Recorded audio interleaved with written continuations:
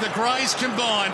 And it's been a grey afternoon so far here at Optus Stadium. Robbie's got it. He's got and dump slam tackled face first by Nyhuis. And Charlie's not happy.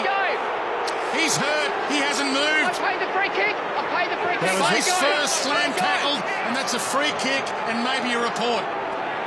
Oh, he's out cold. That's right in front of me. Uh, picked him up, put him on the ground. So Robbie Gray has not moved, still going down here. Here's the tackle. Tackle, and I paid the free kick for it. Ball was out. And he couldn't protect himself. That's a nasty one. Get in. I paid a dangerous tackle, Gareth. But when you pin the arm, Pav, he pinned No, his left yeah, arm exactly. and then flipped him over. So uh, you can't defend yourself when you are getting tackled in that instance. And uh, he's awake now uh, on the stretcher on his back. So uh, disappointing for Robbie Gray here and uh, Port Adelaide fans.